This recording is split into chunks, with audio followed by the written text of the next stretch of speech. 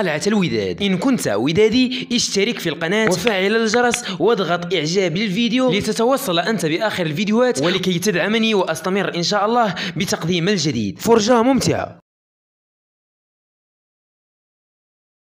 صدمة قوية لأيوب الكحل.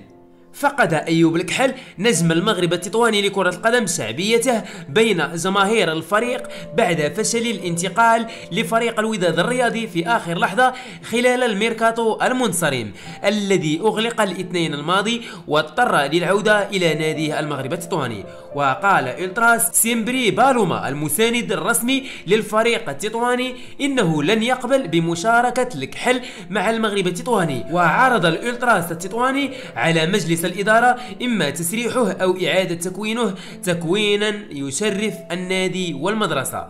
وأوضح أنه لن يقبل أن يحمل مثل هؤلاء اللاعبين قميص الفريق مشددا على أن مجلس الإدارة يتحمل مسؤولية مشاركة الكحل في المباريات.